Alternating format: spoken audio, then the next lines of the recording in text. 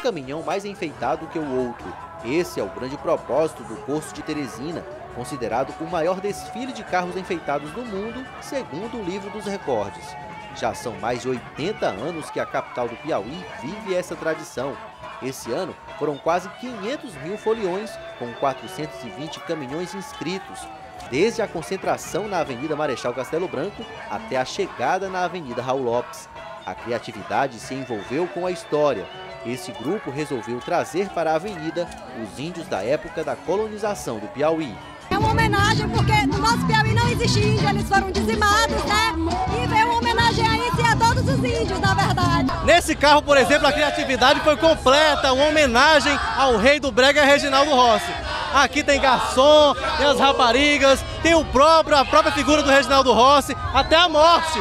A morte que levou o nosso cantor Reginaldo Rossi. Eduardo, está sendo difícil interpretar a morte em um momento tão alegre como o carnaval?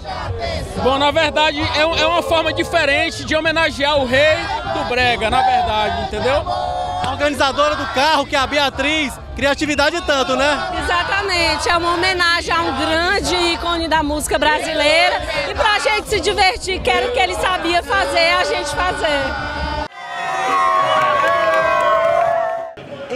Copa do Mundo, valeu trazer para a avenida caminhão enfeitado dentro do tema e a torcida em cima, bem animada.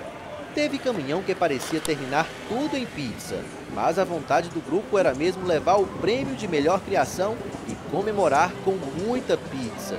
Merece o prêmio, mas tem muita pizza, vai dar muita pizza! Teve folião que preferiu se divertir sem caminhão, mas o que vale é a interação com quem preferiu brincar no chão. E a fantasia foi quem comandou a festa. O que importa é a diversão, né? O que importa é a autoestima. Tá ligado? Saí do banho agora e vim pro curso, pô. Tava atrasado. Tomei banho, bora pro curso. E a fantasia? Arrumadeira. Arrumadeira? Arrumadeira. É camareira. Dá pra arrumar alguma coisa? Um namorado? Ah, mais ou menos, né? e a Chapeuzinho Vermelho, já encontrou o Lobo Mal? Não, ainda não. Ainda não. Agora eu vou nessa